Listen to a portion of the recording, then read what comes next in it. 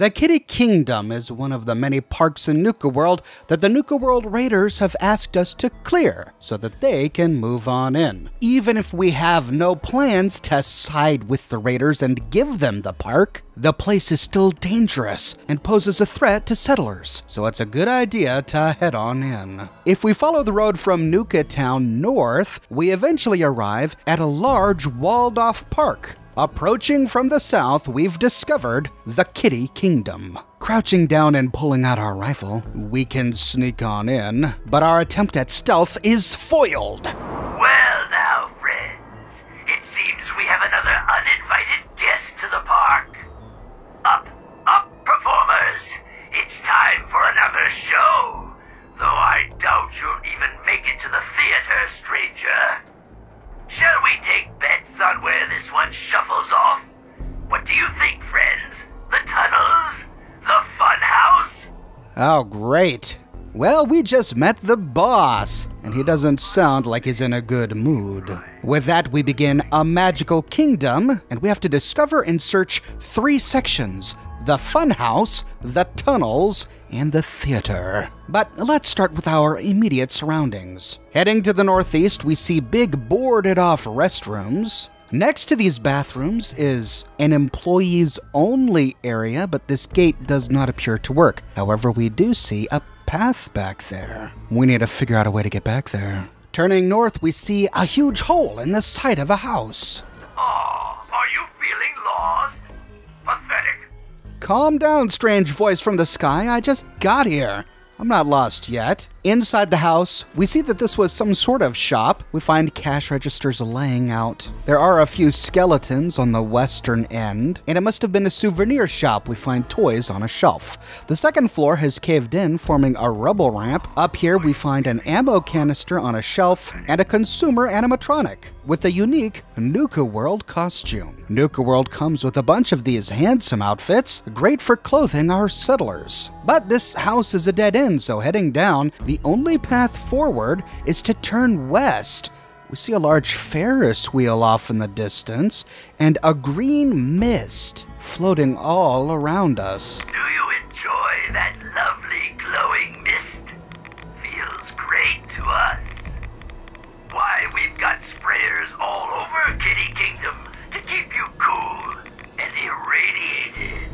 Oh, that sprayer was spraying radioactive mist on us. And we were getting up to 18 rads per second at one point. Oh gosh, I can already see this is gonna be a blast. I'm on my assassin, I'm not wearing power armor, so radiation is a real danger for this character. I'm gonna go ahead and put on a gas mask and pop a Rad-X. Let's pay close attention to what I start with here. I'm starting with 30 Rad-X and 34 Radaway. Let's see how many I have left by the time we're done.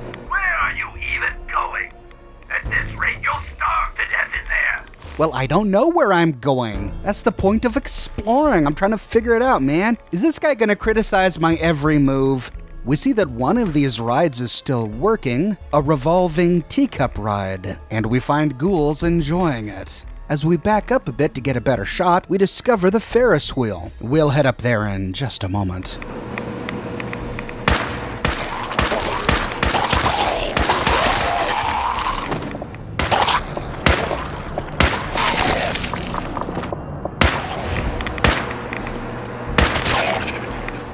After killing the ghouls, we can hop on the spinning teacup ride to loot the bodies. On the other end, we see some shops and carnival games, and we see a couple ways forward. We can go east towards some lollipop town, or we can go west towards the Ferris wheel. We'll start by going west. Here, we find a park medallion dispenser.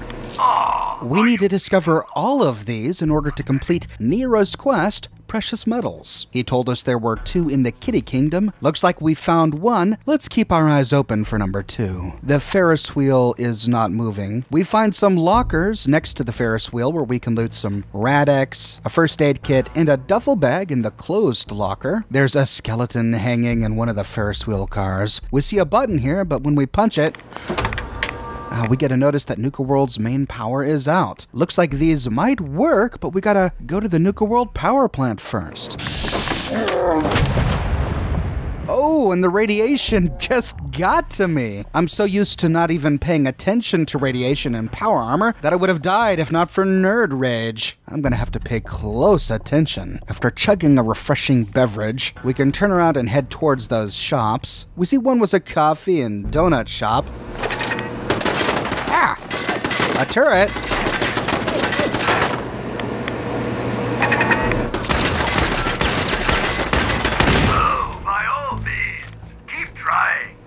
doing great.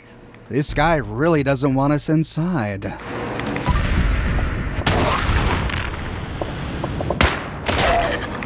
After killing the ghoul and loading his corpse, we see that Lollipop Town to the east, but we've also discovered a path towards this turret that we destroyed next to a gingerbread house. Here we find a series of Nuka Cola mixers, and heading west, we find the Rally Roller Ride, a bunch of little cars on a spinning wheel. Like the Ferris wheel, this one has an activation button that doesn't work until we restore power, which we can hide behind for cover.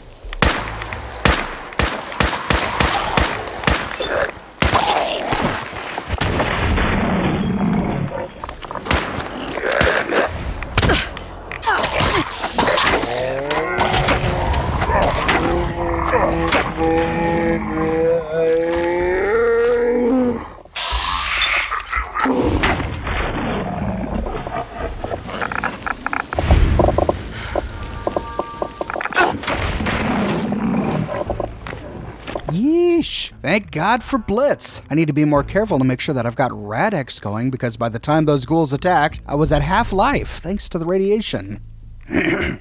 Well, we blitzed ourselves into some sort of courtyard next to the rally rollers. We see the falling awning of a ruined coffee shop to the right, some boarded up bathrooms to the north in front of us, and another exit going around the walls. Sure enough, we've found another way in and out of the park. So there's a southern entrance and exit, and a western one. This is a great point of reference for orienting ourselves later. But unless we want to leave the park, we have reached a dead end, which means the only path forward is to turn around and head east towards the Lollipop Town. But before we head that way, we can step inside this crumbling gingerbread house.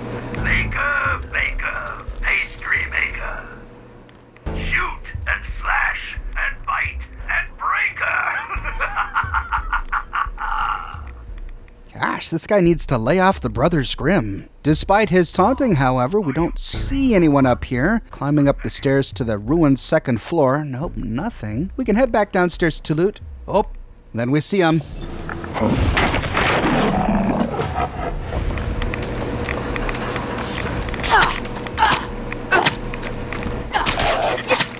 Well, that was a little clumsy.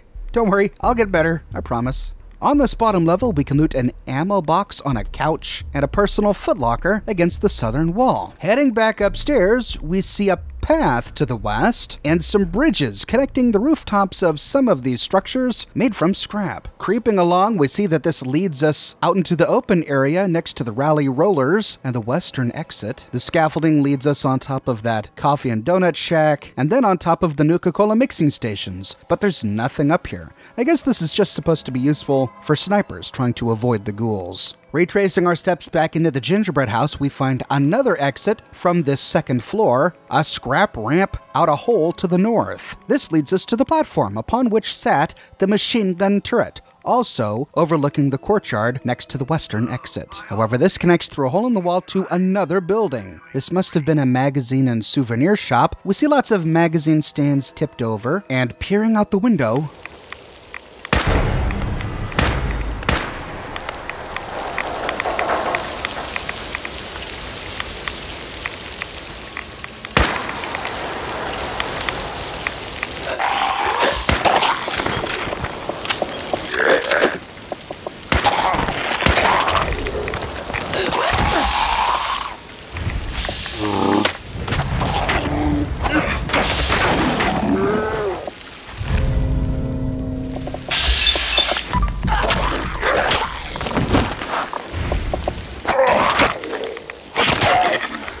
But the jig is up. We get attacked by another legendary.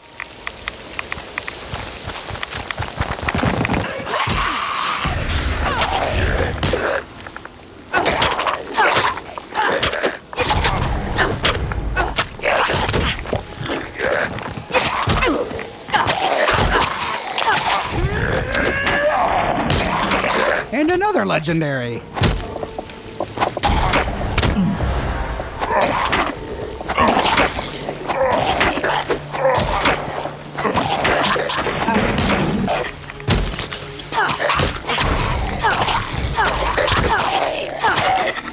Holy cow, how many legendary feral ghouls was that? Well, the upside is we get decent loot, got a rapid shotgun, deadeye combat shotgun, and a wounding missile launcher. After the ghouls are dead, we can exit the house to a large courtyard to the north. In the middle of this open space is a big fountain that no longer works, but we have to be careful because we're surrounded by more of those sprayers. Heading north, we see some train tracks going underneath a bridge. Not sure what those are for yet. And in the middle of this courtyard, we find a handy map. I ignored and passed the ones I saw earlier, but now that things are starting to get a little bit more complicated, I'm going to pay close attention to this. This is really helpful. We see the southern entrance where we entered at the very bottom, the western entrance next to the rolling racers, which we just left. And it looks like from here we can go two ways. We can go north to finish exploring this lollipop area, and we can go west across some train tracks to start scaling the steps towards the castle proper. Sure enough, to the north, we find a bridge leading deeper to that lollipop area. Turning east, we find a door into a delicatessen, and southeast of this is the path that presumably leads towards the castle entrance. Where to begin? For now, we'll head north across the bridge. I'm thinking this lollipop land may be a dead end, and since I want to explore everything, we'll start here. There's a ruined shop in front of us. We can go west or east. Before making up our minds, we see some ghouls. We'll start by going west. Here we pass more of those deadly sprayers, and a ghoul creeps out. Creeping to a corner, we can snipe off any others that come our way.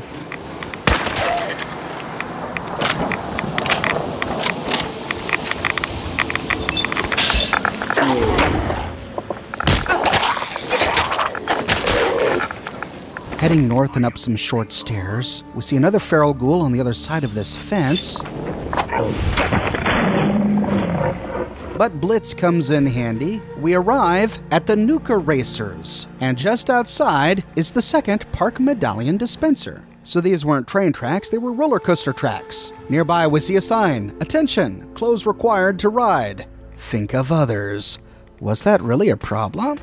We find more ghouls wandering the tracks, and they're already wounded. Looks like these roller cars can do some serious damage.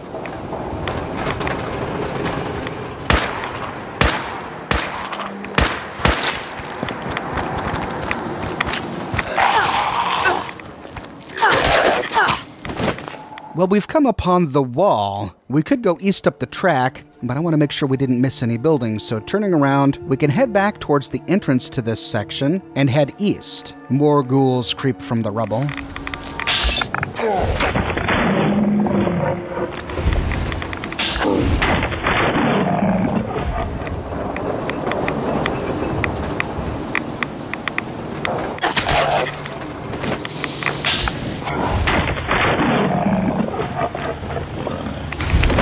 And here we find the Nuka rocket ride. This is right next to a big tipped over bottle serving as a tunnel for the Nuka racers. And we find more ghouls. Man, they really love these tracks.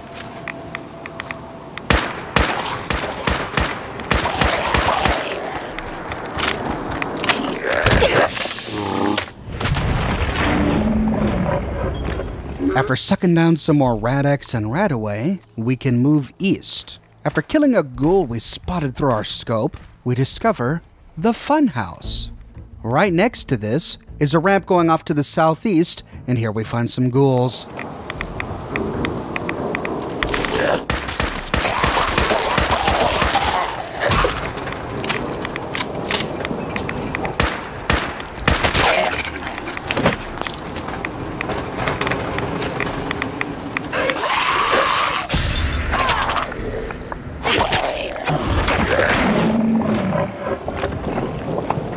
Looks like this path just leads to some tracks and back towards that gingerbread house. So instead, we'll turn around and head into the funhouse. We arrive in a dimly lit room covered in garbage.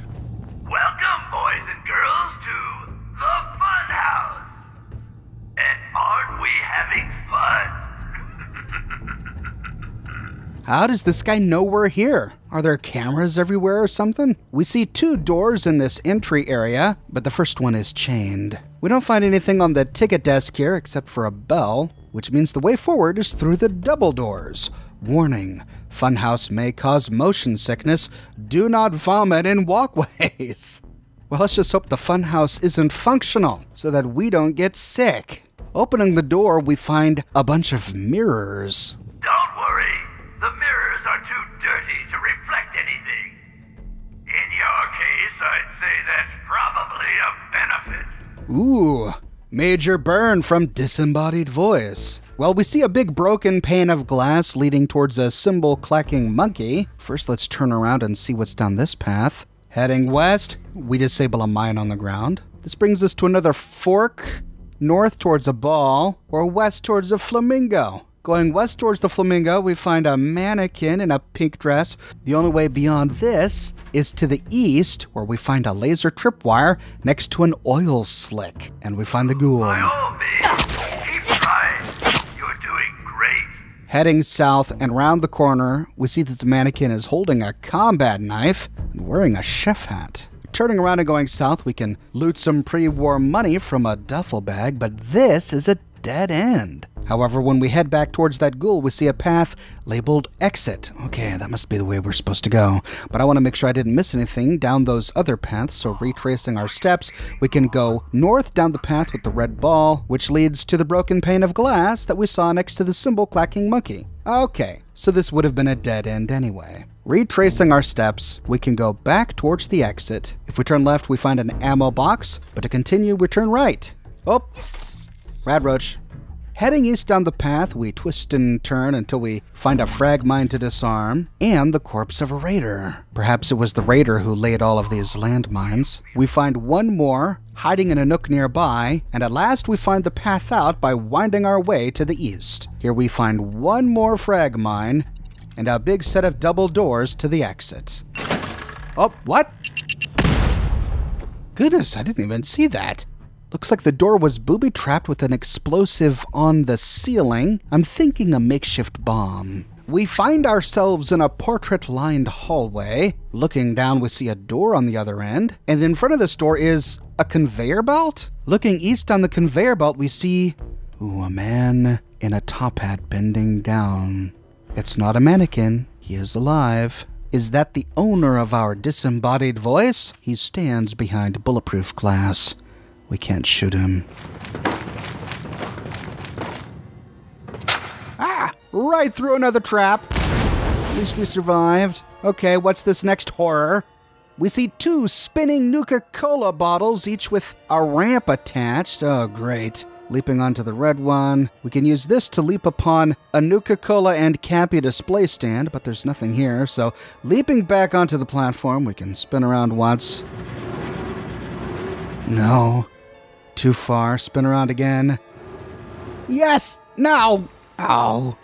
Thankfully, there are some steps right to the south. We can try again. But our failure alerted some nearby ghouls, running off until they can't see me.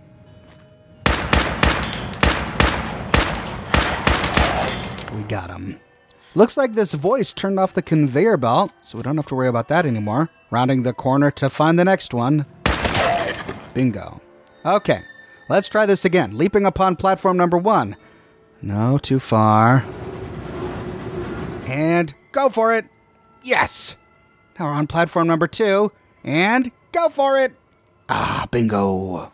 But you know, there is that hole in the wall. Uh, but I did just make it over here. Ah, I'm gonna hate myself if I don't know what's on the other side of it. Jumping down into the water and creeping through the hole in the wall, we find ourselves in another flooded room with some sort of green glowing spinning tunnel in the middle of this room. We see big rectangular holes in the bottom of this tunnel. No idea what this is, though. Perhaps it's some trial that is before us. There's some stairs leading out of the water to another locked security door. We can't open it from this side. Oh, well, now we know what's back here, but we gotta go through this jumping thing again.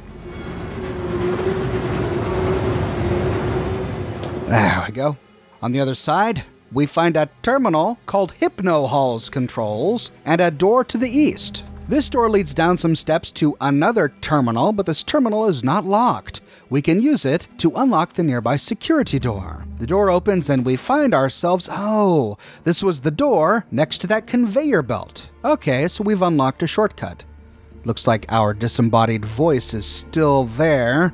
see if we can find him. Heading back to the platform, we can hack into this Hypno Hall's controls, which is locked with a novice lock, Funhouse Halls of Hallucination. After doing so, we find only one option set reduced nausea mode on. Uh, okay, let's try that. After exiting, we can open the nearby door. Okay, we see big green spinning discs. But I'm curious if this is nausea mode on, let's see what it looks like when we turn nausea mode off. Ooh, much faster. Throwing caution and possibly vomit to the wind, we can leave nausea mode off and venture forward. Well, heading into the tunnel to the east. Whoa. Listen to the sound of my voice. You're going to die.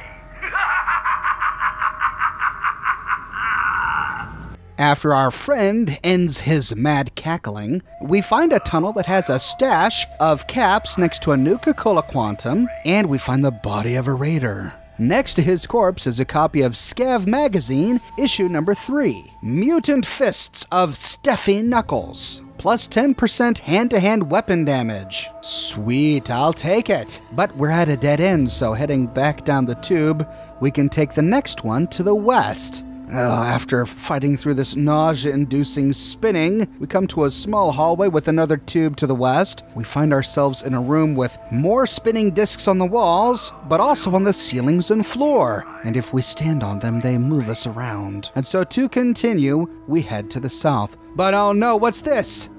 Big chunks of metal are cut into the spinning wheel. And on the other side. Ah! Oh man, I had no chance to get a stealth critical. They both spawned as soon as I exited the tube. Well, trying again, this time trying to stealth in, we can see through those spinning holes and realize that this is that big green tube and that flooded room we passed.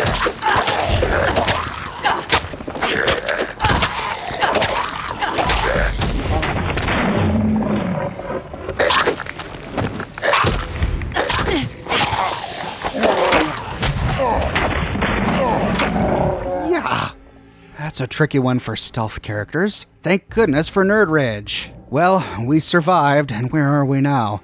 In some sort of star room? We see a door to the south. This leads us to. Oh no! This is right out of Escher.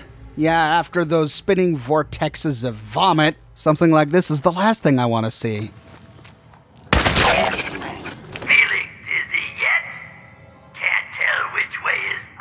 Well, there's a door on the floor, but this just leads to a floor. We see a room over there, and then what's this? A window in the floor? Oh, that's a cool touch. Look at that. Leads to a little grassy box. There are stairs above us, but these don't go anywhere. Heading east, we see a corpse of a raider draped over a table. Next to him is another door.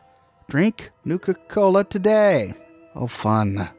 Turning around and looking up, we see a door on the ceiling, but no way to reach it. I struggled with this for quite some time, but I finally opened it by jumping onto this red chair and taking some jet.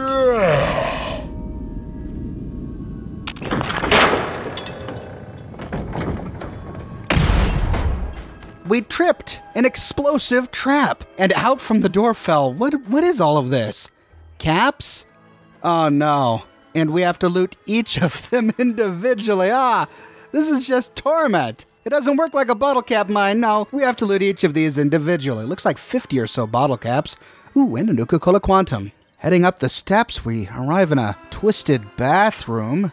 There's a bathroom mirror on the ceiling, but like the door in the last room, we can't reach this, and I ultimately was unable to find a way to do so without a jetpack. But if we have a jetpack and manage to sail on up, inside we find a fusion core and an X-Cell, the rarest chem in the entire game. Nice little find there. And then we see an opening to the east, leading to a red door. What's this? Oh, On the other side of the red door is a big rotating platform filled with feral ghouls, some of which are legendary. But this doggone red door is programmed to close a few seconds after opening. But wait, I've got an idea.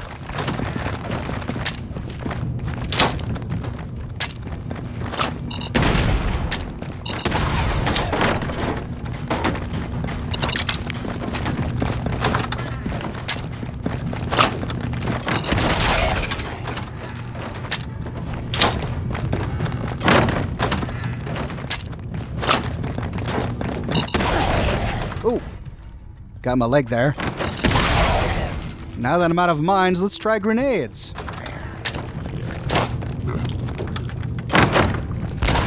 Brilliant! Not so brilliant! Oh. okay, think I need to be a bit more careful now. Let's try this again.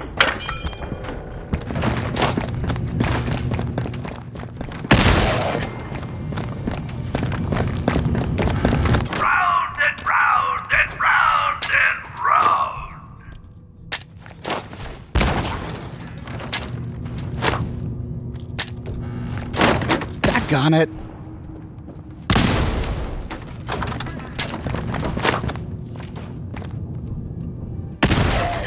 There we go. We see on our Pip-Boy compass that there's one more enemy in here, but it looks like we've killed everyone. Not sure where this enemy goes. Heading inside, we can loot all of the feral ghouls. We find a legendary troubleshooting Knuckles on this guy, but when we're done, which door was it? Oh no, I don't know where I came in at. Well, only one thing to do, and that's to open each of these doors one by one. Let's start with this red one. Ooh, looks like some sort of flamethrower trap. It's a lot of effort to keep myself facing this thing so I know which door I just opened. After the flames die down, we can open it again and squeeze in there. There we go. What was that? A radroach?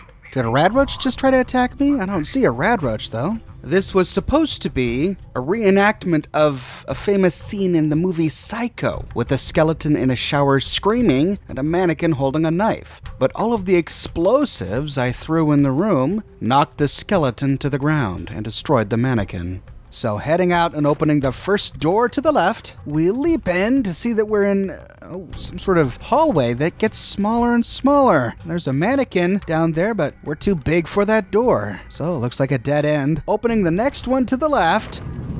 Now there's a lovely sight. Ooh. Someone exploded. A raider in here. Oh, and on the ground next to him is a traitor. And then we see it, there's a tripwire. I managed to not trip it due to my perks. Heading out, going left, and opening the next door, we can leap in to see that we're in some sort of tiny dining room. There's some toys and derby hats on the ground. Oh, what the heck? Is there a radroach out there? I don't see one for now. There's a pile of skeletons in the southern corner, next to a Giddy Up Buttercup, a pile of burned books, and a bunch of other toys. These surround an advance locked floor safe, and inside we find a cache of ammunition and chems. This was supposed to be a bunch of toys in derby hats, smoking cigars and counting money. The burned books were propping up a teddy bear in one of the chairs. The skeletons were piled in each of the four corners of this room, giving me the impression that the toys had murdered the men in here, donned their hats, and then sat down at their table to count their spoils. Heading out and quickly opening the first door to the left, we can leap in Oh, this is where I came from. Okay. Heading out and opening the next door to the left. Ow, it's a concrete wall. So, next door to the left. Okay, something is definitely attacking us now. Oh, and it's one of those rad sprayers. Ah. Ooh, but we see something on the wall. Making sure we've got our cappy glasses on, we find one of the hidden cappies, which we need to complete Sierra Petrovita's quest. Here we also find a huge roll of Nukacade tickets. But I'm getting doused in radiation here, so heading out quickly and opening the next door to the left, we see a, a nice family scene. Couple of mannequins with a mannequin in the crib reaching for a bottle in the daddy mannequin's hand. Heading out, moving left to the next one.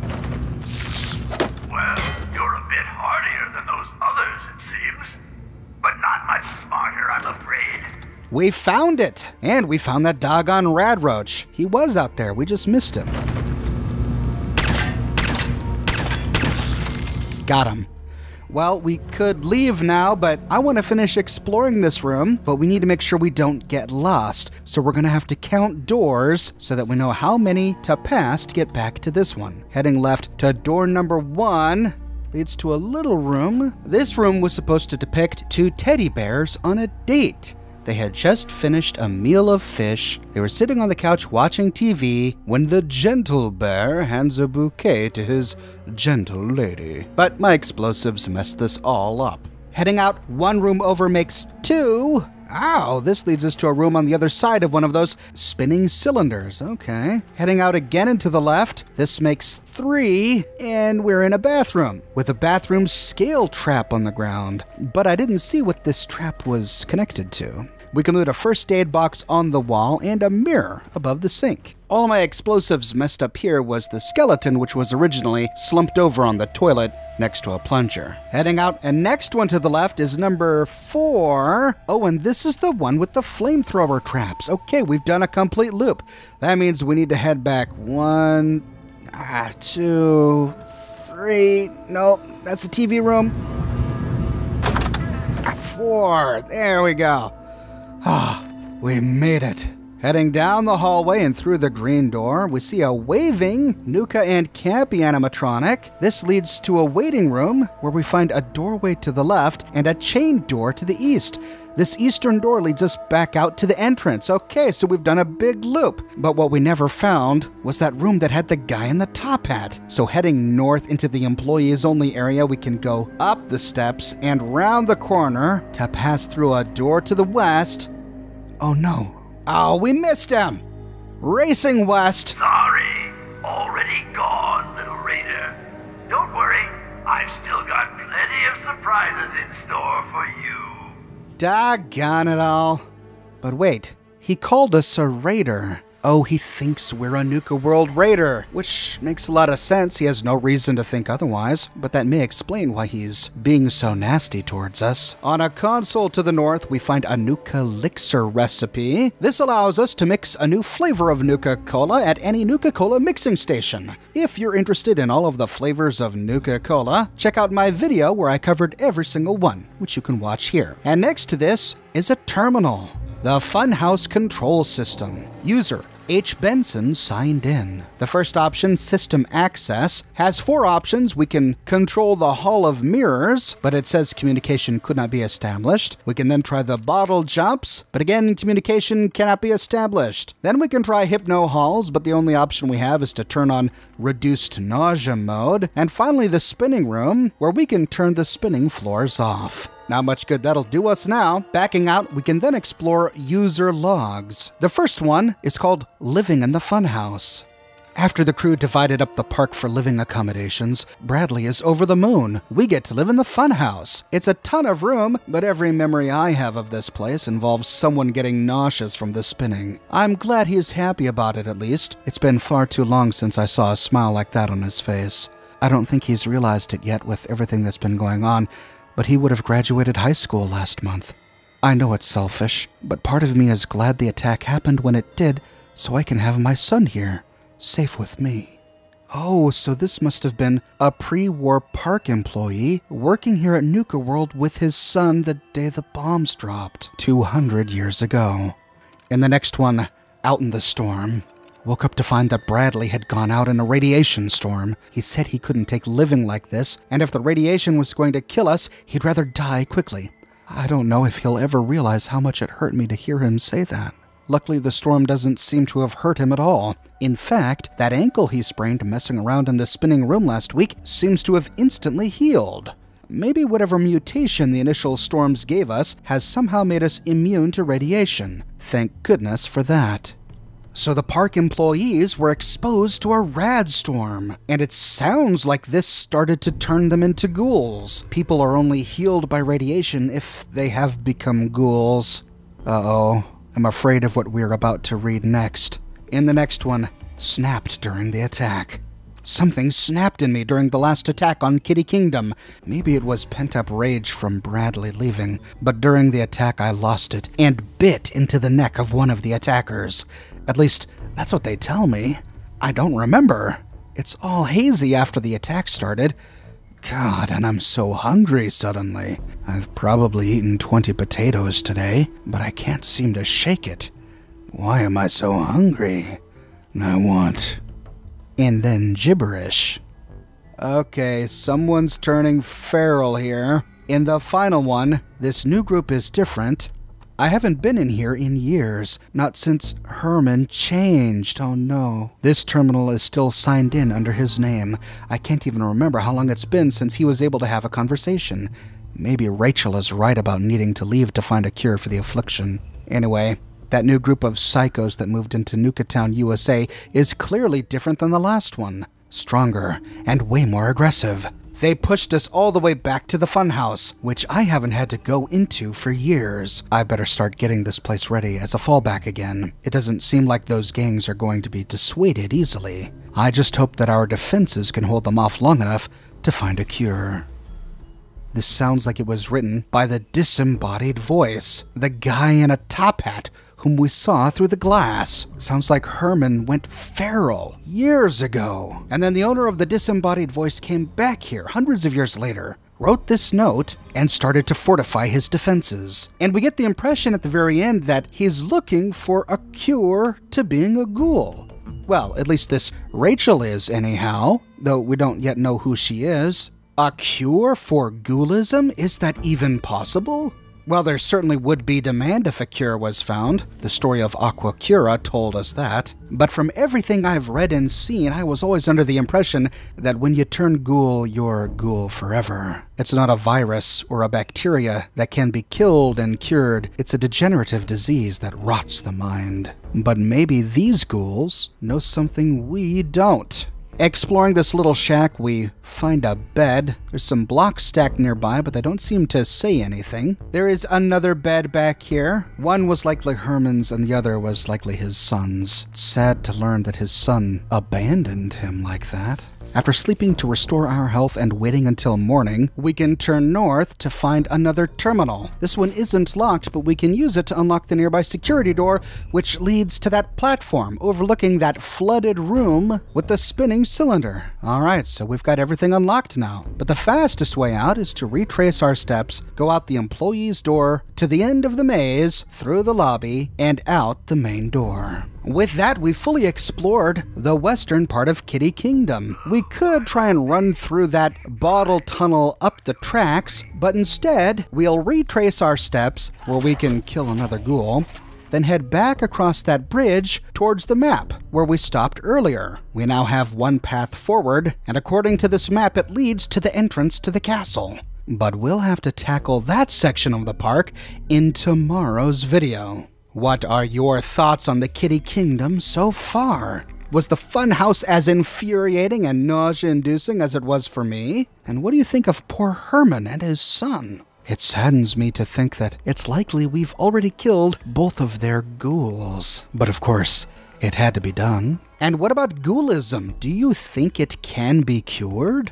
Or is it a permanent affliction? Let me know your thoughts in the comments section below. I publish a new Fallout video six days a week on a wide range of topics spanning all of the games. And if you want to make sure you don't miss my next episode, part two of the Kiddie Kingdom, be sure to subscribe and to click that bell notification button. I have a brand new shirt in the shop, folks. Show no mercy. We have a portrait on the front with the text Show No Mercy below it.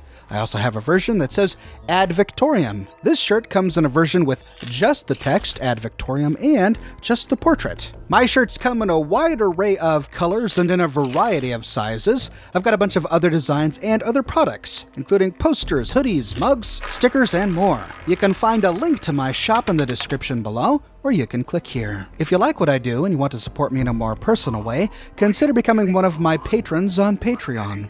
But more than anything, I'm just so glad you're here watching this video with me today. Thank you so much for watching, and I'll see you tomorrow morning, bright and early, with episode 2 of The Kiddie Kingdom.